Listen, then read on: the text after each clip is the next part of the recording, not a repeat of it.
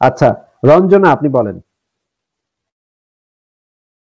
রঞ্জনা আপনি আনমিউট করে তারপর কথা বলেন। নিজেকে আনমিউট করে তারপর আপনি কথা বলেন। না আপনার কোনো কথা আমি শুনতে পাচ্ছি না। রঞ্জনা আপনি আনমিউট করে কথা বলেন। হ্যাঁ। মহিউদ্দিন ভাই আপনি ভালো আছেন? হ্যাঁ হ্যাঁ আপু ভালো আছে। আপনি ভালো আছেন? হ্যাঁ আমিও ভালো আছি। আমি আজকে আপনাদের এখানে আসলে যুক্ত হয়েছে এই জন্য।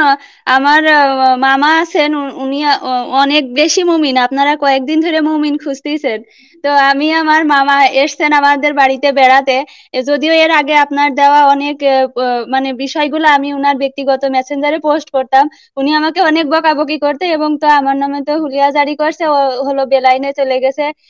ওরা কেউ ভালো নেই অন্যদিকে চলে যাচ্ছে। এগুলা ঠিক করা দরকার। তো সৌভাগ্যক্রমে মামা এসছেন আমাদের বাড়িতে বেড়াতে উনি কিন্তু হজ করা।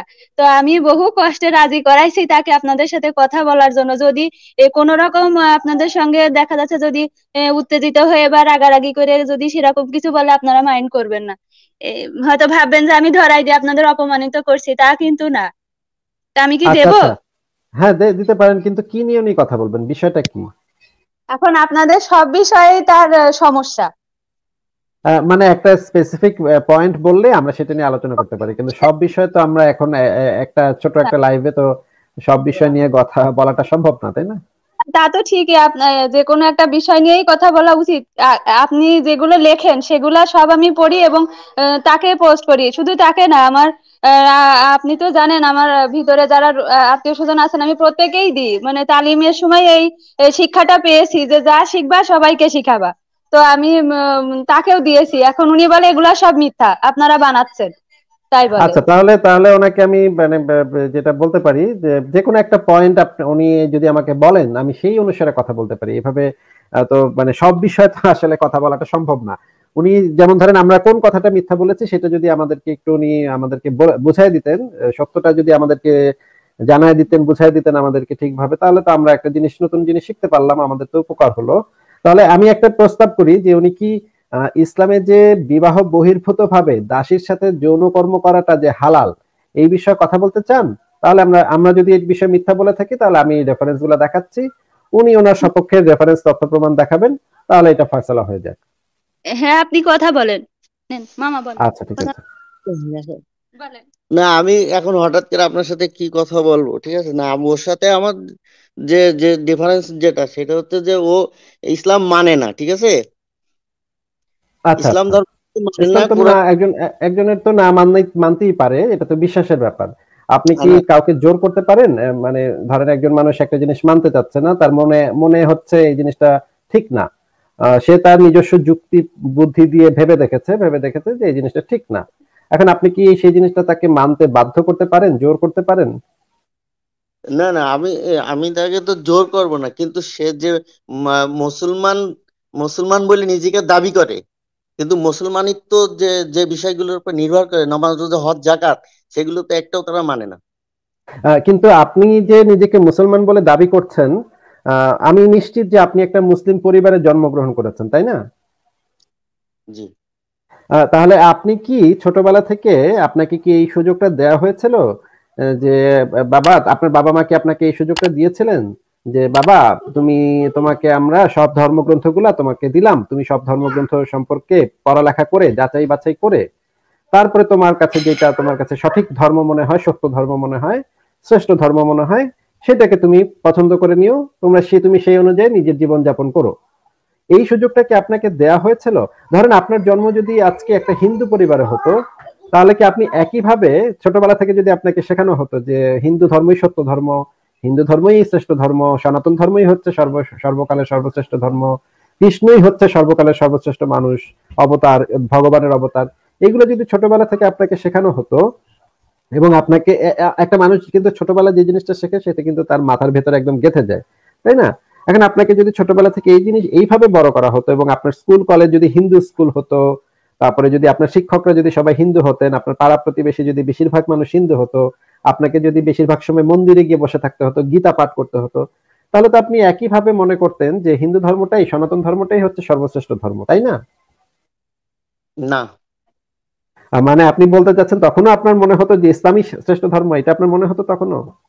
শুনেন এগুলো এগুলো তো প্রশ্নে আসে না। কারণ আপনি যখনই রাইস খাতি বসবেন তখন আপনার রুটির কথা ছেড়েই দিতে হবে। আপনি রাইস নিয়ে আলাপ করবেন। আমি আমি আপনাকে জিজ্ঞাসা করেছি ভাই আ- ভাই আমি আপনাকে জিজ্ঞাসা করেছি যে ছোটবেলায় কি আপনাকে আপনাকে আমি জিজ্ঞাসা আপনাকে আমি জিজ্ঞাসা করেছি ছোটবেলা নিয়ে কি আপনাকে ভগবত গীতা বাইবেল তারপরে এগুলো পড়তে দেওয়া হয়েছিল? ত্রিপিটক এগুলো পড়তে দেওয়া হয়েছিল? না। তাহলে আপনি কীভাবে বুঝতে পারলেন যে আপনার ধর্মটাই যে একমাত্র সত্য ধর্ম এবং শ্রেষ্ঠ ধর্ম এটা আপনি কীভাবে বুঝতে পারলেন? যাচাই না করে? আপনার এখানে যাচাই করার বিষয়টা আসছে কেন?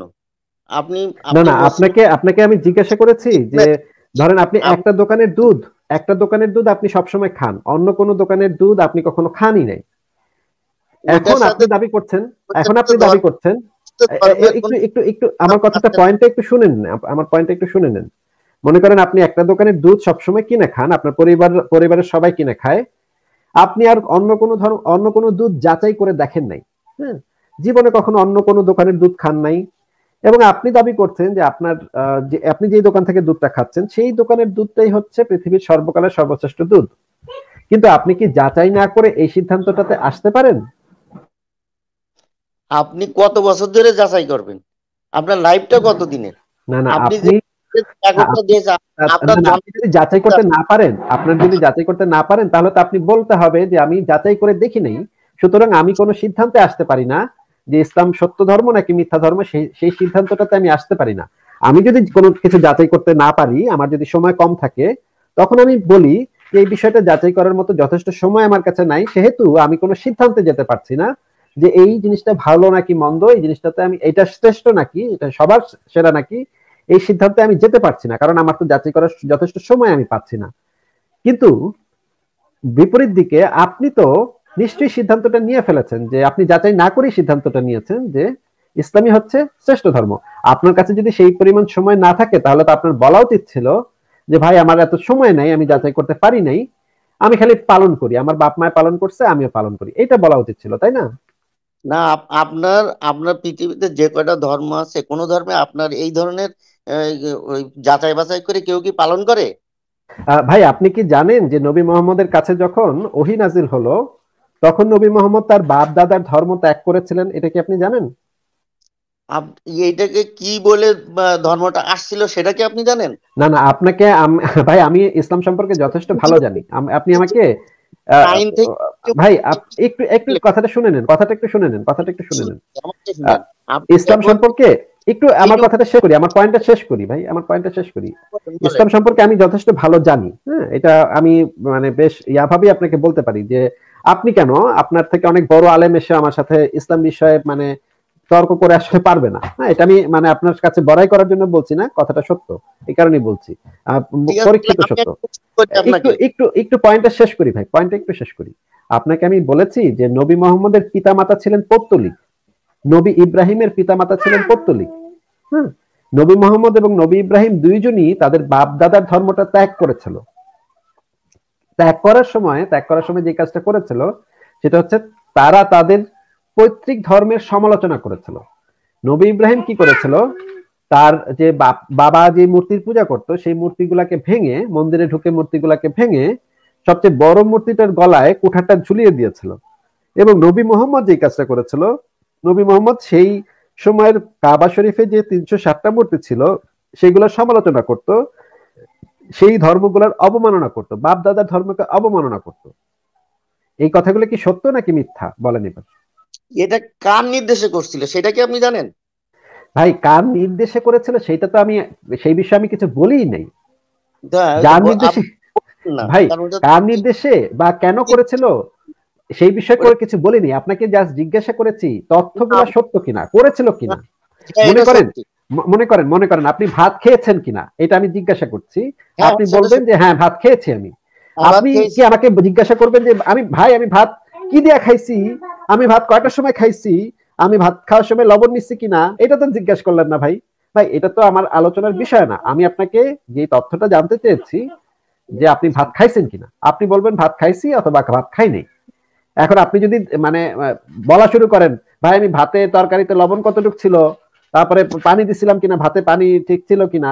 ডাইলে লবণ ছিল কিনা? ভাই, এগুলো তো আমি জিজ্ঞাসাই করিনি ভাই। না না আপনি তো বলছেন যে এরকম হয়েছিল। হ্যাঁ ঘটনা হয়েছিল। হ্যাঁ তাহলে তাহলে নবী মোহাম্মদ যদি তার বাপদাদার ধর্মে বিশ্বাস করত বাপদাদার ধর্মটাই যদি বিশ্বাস করত ছোটবেলা থেকে তাহলে কি আর ইসলাম ধর্ম আসতো? না না তাহলে ইসলাম ধর্ম বিশ্বাসে আপনি বলছেন যে এখন এখন এখন এখন নবী মোহাম্মদ যখন দেখতে পাইলো যে তাদের সমাজে নানা ধরনের অনাচার অবিচার চলছে এবং এগুলো চলছে ধর্মের নামে। তখন সে যে কাজটা করল, সেই সময় হিলফুল ফুজুল নামক একটা সংগঠন তিনি করেছিলেন, তার তরুণ বয়সে। সেই সময় মক্কা মক্কা শরীফ রিনোভেশন চলছিল মানে সংস্কারের কাজ চলছিল। তখন গোত্রে গোত্রে বাড়াবাড়ি লেগে যাওয়ার অবস্থা হয়েছিল। তখন তিনি যে কাজটা করেছিলেন, যে একটা বুদ্ধি দিয়েছিলেন যে একটা চাদর মানে বিছিয়ে সেটার উপরে যে হাজরে আসবাদ পাথরটাকে দেখে সবাই চারপাশ থেকে ধরে সব গোত্র প্রধানরা চারপাশ থেকে ধরে এটাকে স্থানান্তর করবে। এটা কি সত্য নাকি মিথ্যা বলেন তো? এটা সত্য। আচ্ছা তাহলে আমি যে জিনিসটা আপনাকে বলতে চাচ্ছি নবী মোহাম্মদ তার সমাজে এই ধরনের নানা অনাচার অবিচার দেখছিল। দেখে তিনি বলছিলেন যে এই যে তোমরা যে এই ধর্মটা পালন করো তখন তার মনে এই ধর্মগুলো সম্পর্কে সন্দেহ এসেছিল এই ধর্মগুলোকে আদৌ সত্য কিনা? তিনি যাচাই করা শুরু করে দিয়েছিলেন এবং যাচাই করে দেখতে পেলেন যে মূর্তির কোনো আসলে ক্ষমতা নাই। মূর্তি আসলে মানুষের ভালোও করতে পারে না, খারাপও করতে পারে না। তিনি কিন্তু, তিনি যদি তার পৈতৃক ধর্মতে মানে ইয়া থাকতেন, ভাবতেন যে আমার বাপ দাদা যেটা পালন করছে, আমিও সেটা পালন করব। আমার এত যাচাই করার দরকার নেই ভাই, এত বুঝে শুনে আমি পালন করতে পারব না। আপনার মতো যদি থাকতো ওই সময় যদি নবী মোহাম্মদ আপনার মতো যদি বলতো যে আমি এত যাচাই যাচাই করতে যাই না। ধর, আমার এত সময় নেই, আমার জীবনে এত অনেক কাজ আছে ভাই, এত আমার এত টাইম নেই যাচাই করে দেখা। তাহলে তো আর ইসলাম ধর্মটা আসতো না তাই না? না আসতো। না ভাই কীভাবে আসতো? সে যদি যাচাই না করতো তার তো প্রথম জিনিসটা হচ্ছে অন্য ধর্মগুলাকে সে যাচাই করে দেখেছিল যে অন্য ধর্মগুলা সত্য কিনা। এই যে যেমন ধরেন এই যে হুবাল নামক একটা দেবতা ছিল সেই সময় শীর্ষ দেবতা ছিল এবং সেই দেবতার তিনটা কন্যা ছিল লাত মানাত উজ্জা। এই তিনটা দেবীর উপাসনা করা হতো। তখন তিনি যে জিনিসটা দেখলেন যে এই জিনিস এই তিন দেবীর উপাসনা করে আসলে কোনো লাভ নাই। এগুলো আসলে ভুয়া কথা। এগুলো মানুষের বানানো মাটির মূর্তি। এগুলোর কোনো ক্ষমতা নাই। এই যে যাচাই করে দেখাটা এই দেখাটা তো ভালো কাজ নাকি? হ্যাঁ ভালো। তাহলে তাহলে আপনি আপনি কাদের সুন্নত অনুসরণ করতেছেন ভাই? আপনি কি সেই সময়ের পৌত্তলিকদের সুন্নত অনুসরণ করতেছেন? নাকি নবীর সুন্নত অনুসরণ করতেছেন? নবীর সুন্নত হচ্ছে যাচাই করে দেখা সব একটু একটু শেষ করে দিই। একটু হ্যাঁ, শেষ করে দিই। একটু শেষ পয়েন্টটা শেষ করি।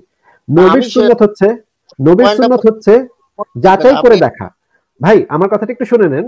নবীর সুন্নত হচ্ছে যাচাই করে দেখা যে বাপ দাদা আমার বাপ দাদা চোদ্দ গোষ্ঠী এই ধর্ম পালন করছে দেখেই যে এই ধর্মটা সত্য এইটা তো হইতে পারে না। এইটা তো কোনো কথা হইতে এটা তো কোনো যুক্তি হইতে পারে না।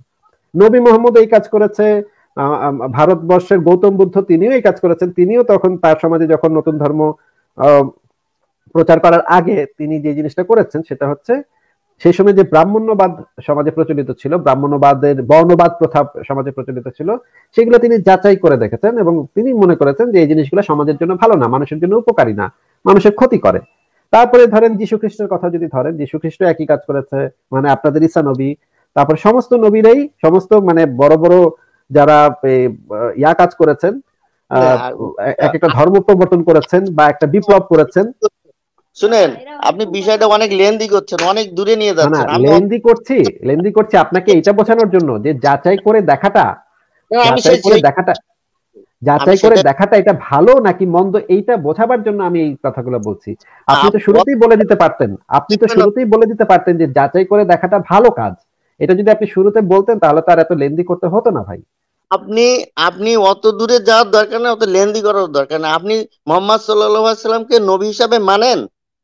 অবশ্যই মানি না কারণ নবী মোহাম্মদ আবার সে কীভাবে মানে আল্লাহ নবী হবে? আল্লাহ দিতে কোনো প্রমাণ নেই। এবং সে ছিল সে ছিল হ্যাঁ। অত্যন্ত বর্বর স্বভাবের মানুষ তিনি ছিলেন অত্যন্ত বর্বর এবং অসভ্য স্বভাবের মানুষ। তিনি একটা শিশু মেয়েকে বিয়ে করেছিলেন মানে একটা নয় বছর বয়সী মেয়ের সাথে যৌন সঙ্গম করেছিলেন। এবং তিনি দাসীদের সাথেও সেক্স করতেন দাসীর সাথেও বিবাহ ছাড়া সেক্স করতেন। তিনি অনেকগুলা বিয়ে করেছেন। তিনি তিনি বুড়ি ছুরি কাউকে ছাড়তেন না। তিনি যুদ্ধবন্দী নারীদের সাথে সেক্স করতেন। তার তো স্বভাব চরিত্র ভালো ছিল না ভাই। তাকে কীভাবে নবী মানবো আমরা? আপনি তো তাকে নবী বলছেন। নবী বলছি নবী বলছি কারণ হচ্ছে নোম হ্যাঁ, চমস্কি নোম চমস্কি উনি হচ্ছেন একজন মার্কিন দার্শনিক। উনি বলেছেন যে নবী শব্দটার মানে হচ্ছে এই নবী শব্দটার মানে এইভাবে ছিল সেই সময় যে নবী হচ্ছে তারা যারা সমাজের একটা বড় নেতৃত্বের কাজ করে বড় একটা নেতৃত্ব দেয়। সেই হিসেবে আমি তাকে নবী বলি সেইটা হচ্ছে এই এই সংজ্ঞা অনুসারে যে সে সেই সময় একটা বড় নেতৃত্ব দিয়েছিল একটা বড় যুদ্ধের বা বড় একটা বিপ্লবের নেতৃত্ব দিয়েছিল। এই হিসেবে তাকে আমি নবী বলি। কিন্তু আল্লাহ নবী আপনি যদি বলেন আল্লাহ নবী আল্লাহর প্রেরিত বার্তা বাহক এই সংজ্ঞা অনুসারে না ভাই এই বার্তা এই সংজ্ঞা অনুসারে আমি তাকে নবী মানি না। তাহলে বঙ্গবন্ধু কি নবী? না বঙ্গবন্ধু নবী হবে কীভাবে? বঙ্গবন্ধু হচ্ছে গিয়ে সেই আমি বলেছি আপনাকে আরব অঞ্চলে ওই মধ্যপ্রাচ্যে এই শব্দটা দ্বারা তাদেরকে মিন করা হতো যারা সমাজে বড় একটা বিপ্লব ঘটিয়েছে। আমি বলছি যে আপনি কোরআন মানেন? ভাই আমি তো নাস্তিক আমি কেন কোরআন মানতে যাব? এটা কেমন কথা বলছেন আপনি? এই জন্য আপনার সাথে আমার যুক্তি তর্ক খাটবে না। আপনি যেহেতু আহ, আল্লাহ মানেন না নবী মানেন না কোরআন মানেন না তাহলে ওই আপনার সাথে আমার এগুলো চলবে না কথাবার্তা ঠিক আছে? আহ, কিন্তু আপনি কি ভাই কোরআন পড়ে দেখেছেন আপনি? আমি কোরআন বুঝে পড়ি নাই এমনি পড়ছি। আচ্ছা মানে আপনি কোরআন না বুঝে আচ্ছা আপনি কোরআন মানে অর্থ সহ বুঝেও কখনো পড়েন নাই আপনি মানে পুরাটা শেষ করি নাই ওইভাবে আচ্ছা ভাই আপনাকে আমি বলে দিচ্ছি আমি কোরআন কয়েক হাজার বার পড়েছি অর্থ সহ বুঝে এবং যতগুলা ক্লাসিক্যাল তাফসির আছে সবগুলো আমার আমি পড়ে ফেলেছি। ক্লাসিক্যাল আচ্ছা। তাফসির মানে হচ্ছে ক্লাসিক্যাল তাফসির মানে হচ্ছে আপনাকে আমি বলে দিই যে ধরেন ইবনে কাসিরের তাফসির, আল্লামা ইবনে কাসির, তারপরে জালালউদ্দিনের তাফসির, জালালউদ্দিন সুয়ুতি, এই দুইজন যে জালালউদ্দিন, তাদের যে তাফসিরে জালালাইন যাকে বলা হয়, তাফসিরে মাঝহারি তাফসিরে কুরতুবি, তাফসিরে ইবনে আব্বাস, এগুলো সমস্ত কিছু আমার পড়া ভাই। আমি আপনাকে লাইন টু লাইন বলে দেখাতে পারব। হ্যাঁ তাহলে আপনার হিসাবে মানে পৃথিবীতে ধর্ম বলে কিছু নাই। ভাই সেটা তো আমি ধর্ম বলে অবশ্যই কিছু আছে কিন্তু ধর্মের দাবিগুলা সত্য না। আপনার কোনো আপনার কোনো নির্দিষ্ট ধর্ম নাই?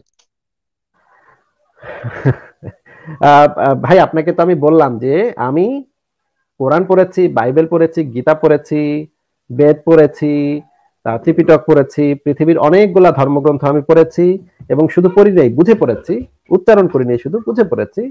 এবং হ্যাঁ, কোরআনের তাফসির অনেকগুলা তাফসির আমি পড়েছি। হাদিস বেশিরভাগ হাদিস আমার আমার মুখস্থ হয়ে গেছে। হ্যাঁ? আপনি আমাকে হাদিস নিয়ে আমার সাথে যে কোনো পৃথিবীর যে কোনো আলেমকে আমি চ্যালেঞ্জ দিতে পারি। হাদিসের উপরে কথা বলব। সে বলুক আমি বলব। তারপরে দেখা যাবে কে কতটুকু পারে বলতে। এই চ্যালেঞ্জ আমি দিয়ে রাখছি বহু আগে থেকে। ঠিক আছে? হাদিসের। উপরে মানে কার কত জ্ঞান আছে? তার মানে তার মানে আপনি আমি আপনাকে বোঝাতে চাচ্ছি যে জিনিসটা বোঝাতে চাচ্ছি যে ভাই আমি যাচাই করে দেখেছি। যাচাই করে দেখে আমি ইসলাম ধর্ম ত্যাগ করেছি। আমি একজন গর্বিত মুরতাদ। আমি একজন ইসলাম ধর্ম ত্যাগী। আর আপনি কোরআনটা কখনো বুঝে পড়েন নাই? আপনি বলতেছেন যে কোরআন না বুঝে পড়েই আপনি বুঝে ফেলছেন যে কোরআন সত্য নাকি? জি। ও এইটাকে ভাই আমরা বলি অন্ধবিশ্বাস বুঝছেন? না, তাহলে এই যে পৃথিবীতে যে কত কোটি মুসলমান এরা কি সব মিথ্যা? সেটা তো মিথ্যা তো আমি বলি নাই পৃথিবীতে তো অনেক কোটি খ্রিস্টানও আছে। তাতে কি আসলো গেল? না আপনি তাহলে কোন ধর্মে গেলেন? না না আপনাকে আমি আপনি যে যুক্তিটা দিলেন যে পৃথিবীতে এতগুলো এত একশো দেড়শো কোটি মুসলমান তাহলে কি ইসলাম ধর্ম মিথ্যা? তাহলে তো খ্রিস্টানরা বলতে পারে পৃথিবীতে তো দুইশো বিশ কোটি খ্রিস্টান আছে। তাইলে তো খ্রিস্টান ধর্ম সত্য হয়ে গেল। যদি সংখ্যার উপরে? ভাই যদি না। সংখ্যার ভাই আমার কথাটা একটু শুনে নেন। ভাই কথাটা একটু শুনে নেন। পৃথিবীতে পৃথিবীতে খ্রিস্টান হচ্ছে সবচেয়ে বেশি হ্যাঁ? আমি দিলাম আমার কথাটা একটু শুনে নেন ভাই আমার কথাটা একটু শুনে নেন। আপনি যে বললেন যে পৃথিবীতে এত কোটি খ্রিস্টান এত কোটি মুসলমান আছে এই কারণে ইসলাম ধর্মটা সত্য।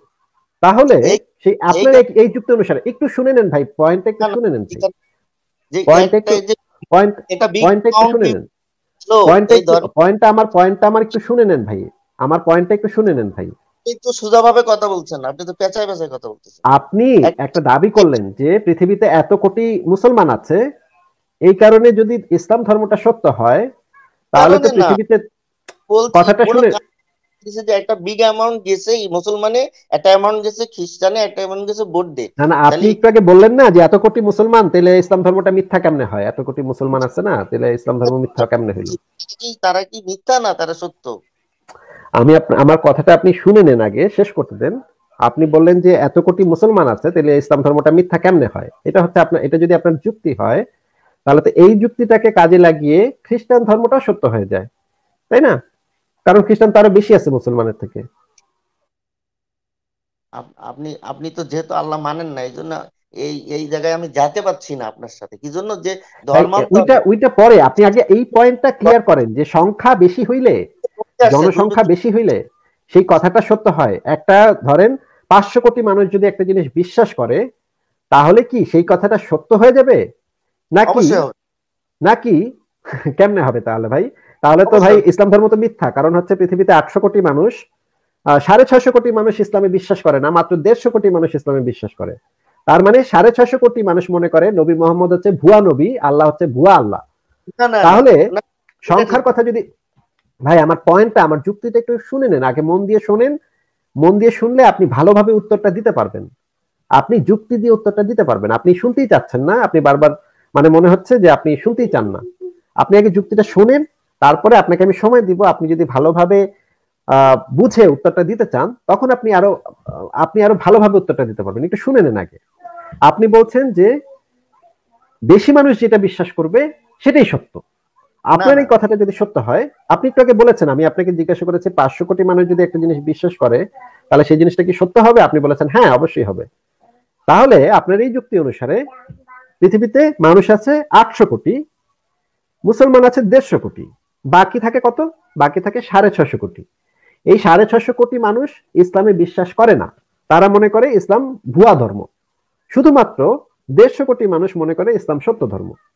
তাহলে সাড়ে ছশো কোটি মানুষ যেহেতু মনে করে যে ইসলাম মিথ্যা ধর্ম তাহলে তো ইসলাম মিথ্যা হয়ে গেল আপনার যুক্তি অনুসারে তাই না?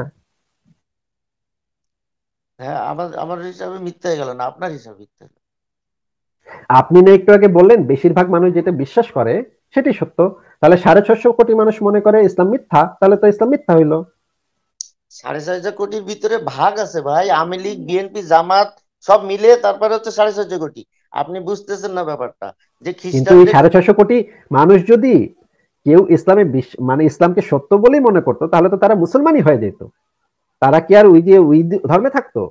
ধরেন একজন হিন্দু ব্যক্তি মনে করে ইসলাম সত্য তাহলে কি আর সে হিন্দু থাকে? তাহলে তো সে মুসলমান হয়ে যায়। কি আপনি কি ভাই কথা মানে বুঝে বলতেছেন নাকি না বুঝেই কথা বল- বলতে হবে এই জন্য বলতেছেন? এটা আসবে একসময় আসবে। এটা হচ্ছে কেয়ামতের আগে এগুলো না না ওগুলো আসবে কি আসবে না সেটা কবে আসবে না না আসবে সেটা তো ভিন্ন বিষয়। আমরা যে আলোচনাটা করছি সেই আলোচনাটাতে থাকেন। ভবিষ্যতে কেয়ামতের আগে কি হবে? কেয়ামতের আগে মানে গাব গাছে আম ধরবে কিনা সেটা তো ভিন্ন বিষয় ভাই। আপনাকে যেটা জিজ্ঞাসা করছি যে পয়েন্টে আমরা আছি সেই পয়েন্টটায় আলোচনাটা করেন। যে যদি দেড়শো কোটি মানুষ মুসলমান হয় সাড়ে ছশো কোটি মানুষ অমুসলিম হয় তাহলে বেশিরভাগ মানুষ তো অমুসলিম। এবং বেশিরভাগ এই সাড়ে ছশো কোটি মানুষ মনে করে যে ইসলাম ধর্মটা সত্য না। তারা যদি কেউ মনে করতো যে ইসলাম ধর্মটা সত্য তাহলে তো সে মুসলমানই হয়ে গেল তাহলে তো সে অমুসলিম হইল না। কিন্তু তারা তো তারা তো অমুসলিম। এই কারণেই তো তারা সাড়ে ছশো কোটি অমুসলিম। সেই সাড়ে ছশো কোটি অমুসলিম আপনার যুক্তি ছিল বেশিরভাগ মানুষ যেটা বিশ্বাস করে সেটা অবশ্যই সত্য হবে। তাহলে তো সাড়ে ছশো কোটি মানুষের যে বিশ্বাস যে ইসলাম মিথ্যা তাহলে তো ইসলাম মিথ্যা হয়ে গেল আপনার যুক্তি অনুসারে। না।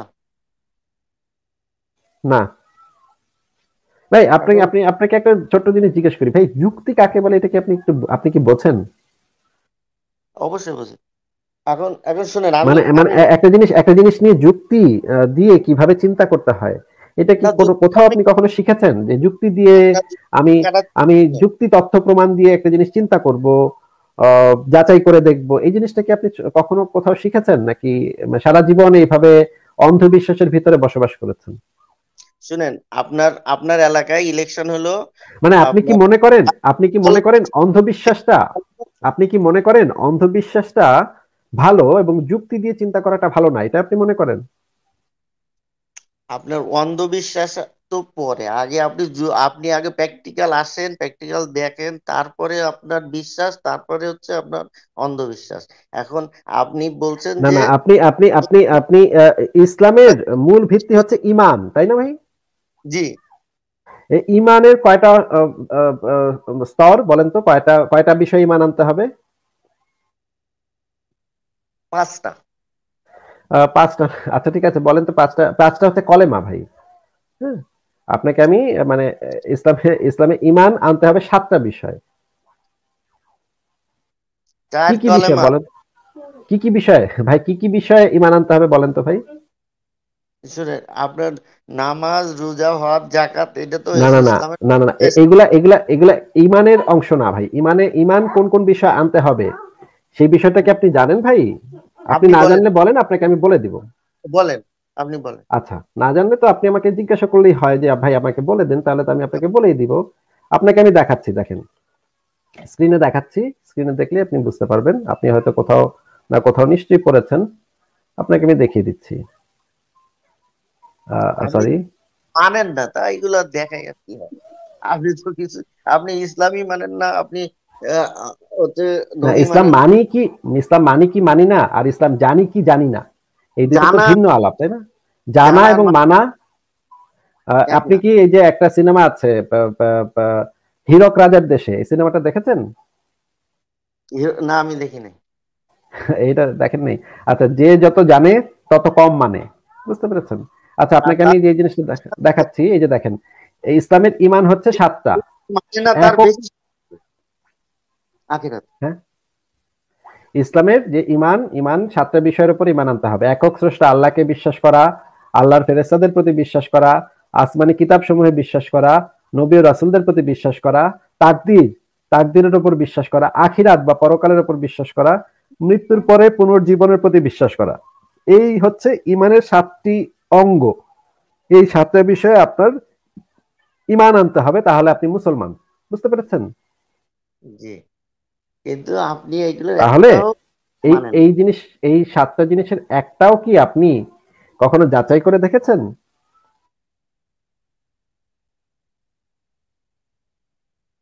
কথা বলেন।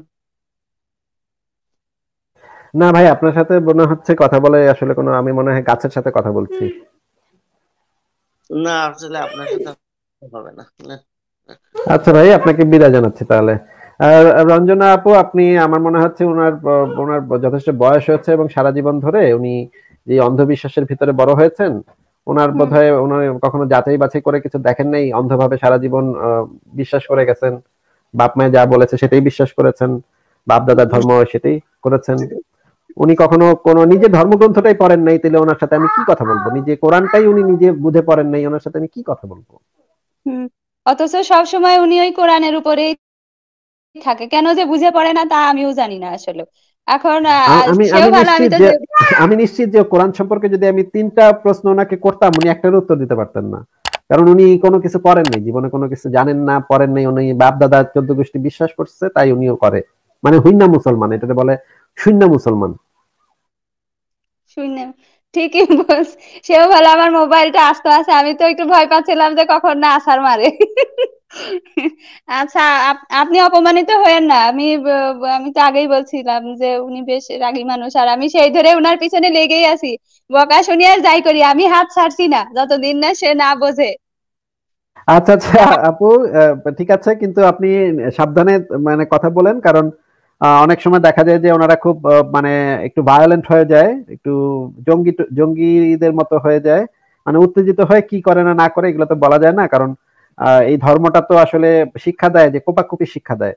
এখন এই জিনিসটা একটু মানে নিজের নিরাপত্তাটা একটু নিশ্চিত করে কথা বলেন আর কি। আচ্ছা ভালো থাকবেন আর আপনার দেওয়া বিষয়গুলো আমি তাকে পড়াবো এখন ফোনে তো দিই, সে পড়ে কিনা আমি জানি না, তবে হয়তো বা পড়ে। আচ্ছা আচ্ছা, ঠিক আছে। ঠিক আছে আপু ভালো- থাকবেন। শুভকামনা রইল আপনার জন্য। শুভকামনা। আহ, তাহলে আপুকে বিদায় জানালাম। এখন